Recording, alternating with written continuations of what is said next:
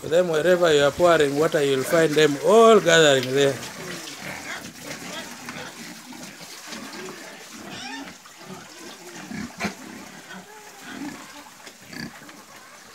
Now, what do you want from me?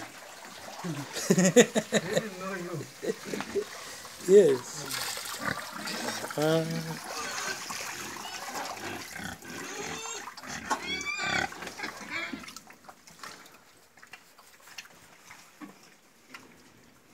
it's okay. We can now just leave it like that. We shall come and add later.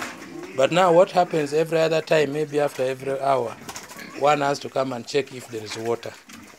Yeah? Every time it is thirsty, it goes to drink like that. So water is very important in the life of pigs. Mm. No, let's leave like that because if you add add one more, yeah, this one is uh, an exotic. This one is large white, three months pregnant.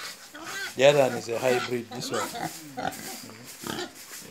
The rest are hybrids.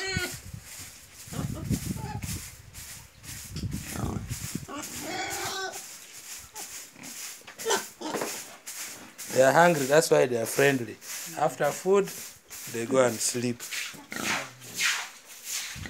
Obviously, they are trying to discover who you are. Hey, converse with them. Any language you want. yes. Once they are used to, to those words, say food, food, food, they will come for food. Hmm? They are very interesting animals. The way you communicate to them, that's what they know. You remember in was it in biology? I don't know which subject. When every time it is time for food and you ring a bell, an animal will now know. Have you seen? Have you seen how friendly it is? I had to Uh, they are very friendly.